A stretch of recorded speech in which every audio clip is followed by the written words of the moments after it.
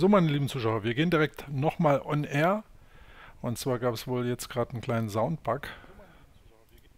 Den haben wir jetzt behoben und wir wollen uns jetzt direkt nochmal dem Markt widmen. Insofern, dass Sie natürlich auch hören, was ich sage. Ähm, Sie sehen hier den DAX und natürlich den starken Ausverkauf. Wir haben heute Donnerstag, den 26. März, knapp nach 10.40 Uhr. Und der DAX scheiterte gestern hier an dem Versuch, ich habe den blauen Fall schon mal rausgemacht, weil es eben nicht dazu reichte, dass der DAX hier 10.025 Punkte überbot. Das war eigentlich ein präferiertes Szenario. DAX zieht hier nach oben raus, durchbricht die bullische Flagge nach oben, Trendkanal passé und auf geht's. Das hat der DAX aber letztlich nicht geschafft. Es ging nach unten und der Alternativplan waren Rücksetzer bis in den Bereich von 11.850 Punkten. Das hat der DAX auch absolviert, um dann letztlich aufgrund schwacher US-Börsen und gestern Abend hielt er sich noch ganz gut hier in diesem Unterstützungsbereich. Das war sehr, sehr signifikant und grundsätzlich eigentlich ein positives Signal für heute. Aber nein, Sie sahen dann hier in der Asia-Session, in der außerbörslichen Tendenz der asiatischen Märkte und eben dann auch aufgrund dessen, dass wir hier noch die geopolitischen Risiken in Jemen haben, die Luftanschläge. Ähm, das ist alles eine Geschichte, wo der Markt hier eine kritische Situation erfährt und auch natürlich der Goldpreis und auch insbesondere im Kontext dessen, dass Saudi-Arabien mit drin steckt, die Ölpreise hier förmlich durch die Decke geschossen bislang. Dazu gibt es auch dann gleich im JFD-Stream nochmal eine extra Analyse zu den Öl. Ähm, Sorten, speziell Brent oder WTI, werden wir uns noch raussuchen. Letztlich einfach so, dass wir hier heute einen starken Impuls gesehen haben. Gold ja auch mittlerweile 25 Dollar hochgeschossen, aber der DAX hier konträr ganz nach unten ausgerichtet. Äh, mit Aufgabe 11.850 war dann praktisch außerbörslich, außerbörslich, außerbörslich hier eine 24-Stunden-Indikation ein weiterer Fall gar nicht aufzuhalten. Korrekturziellevel 11.700 Punkte, das haben wir jetzt unterschritten.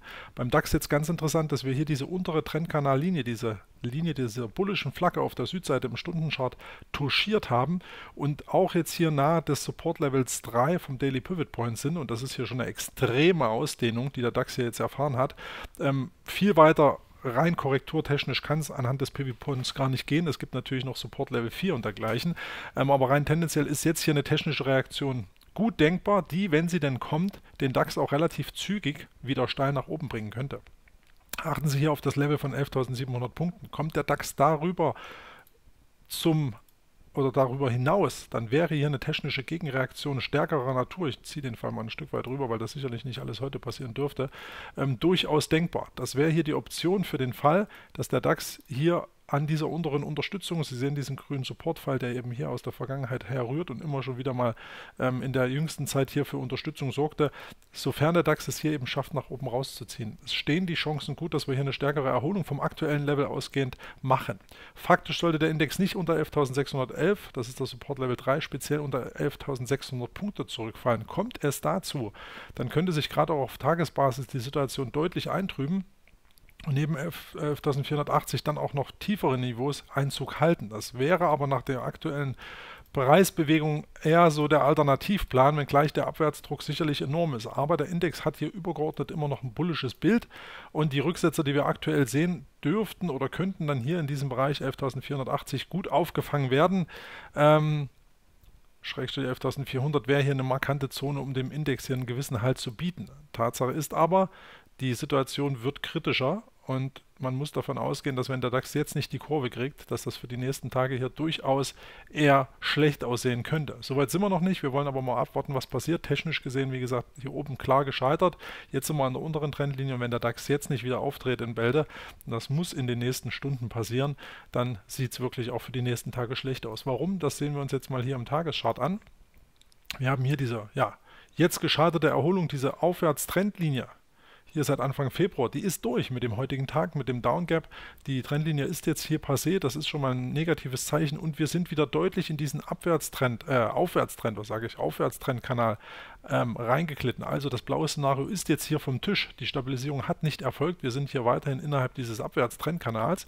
Schrägstrich bullische Flagge noch immer, welche sich eben hier ähm, jetzt sehr, sehr sauber darstellt. Auch hier sehen Sie das Reaktionspotenzial, was jetzt hier besteht, könnte durchaus zu einer technischen Gegenbewegung heute Schrägstrich morgen führen, was den DAX eben durchaus beflügeln dürfte. Aber, großes Aber, aufgrund des Unterschreitung oder der Unterschreitung von 11.700 Punkten kann der Index jetzt auch hier eine wesentlich stärkere Korrektur fahren. Insofern wird das jetzt mal hier das blau gestrichelte Szenario auf Tagesbasis, was im Ausdehnungsfall den DAX jetzt hier durchaus noch ein Stück weit tiefer nach Süden führen dürfte. Dazu passt in Anführungszeichen auch die kurzfristige Saisonalität. Man kann sich natürlich jetzt nicht vorstellen, dass es so dermaßen steil nach unten geht, aber wir haben hier bis Anfang April, das sind jetzt die nächsten Tage, Anfang nächster Woche noch, haben wir hier grundsätzlich eine leicht schwächere Tendenz rein saisonal. Danach bläst der Wind wieder nach oben. Das heißt, der Index kann jetzt hier durchaus stärkere Rücksätze erfahren, gut gestützt, allerdings auch hier, wie im Stundenchart auch schon gesehen, im Bereich 11.400 Punkten. Da kann der DAX, äh, DAX, DAX sage ich schon, der DAX auch schon wieder stoppen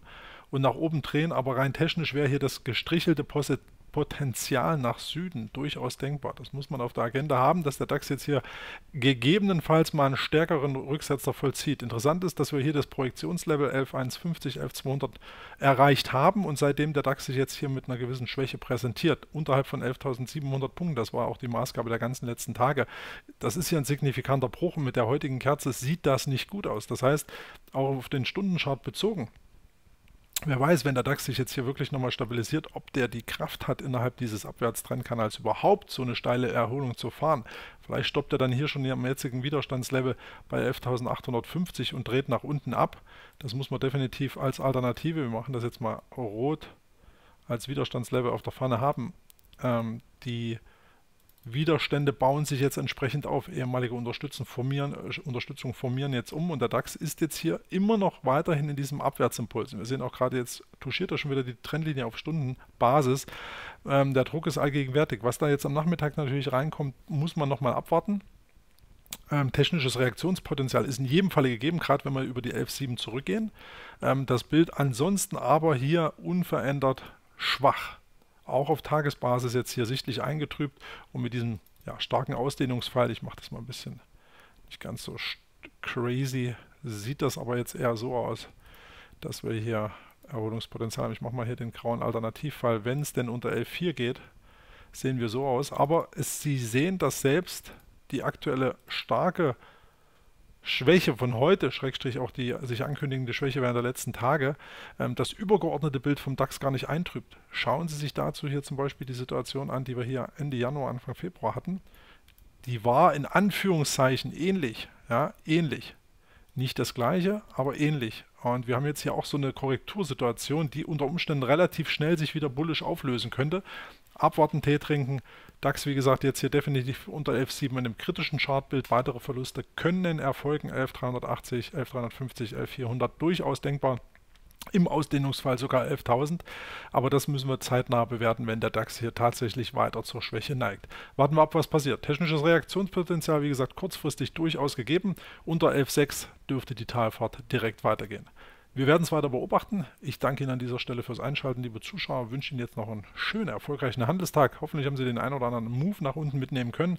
Ich sage erstmal Ciao dabei, bis später. Ihr Christian Kämmerer.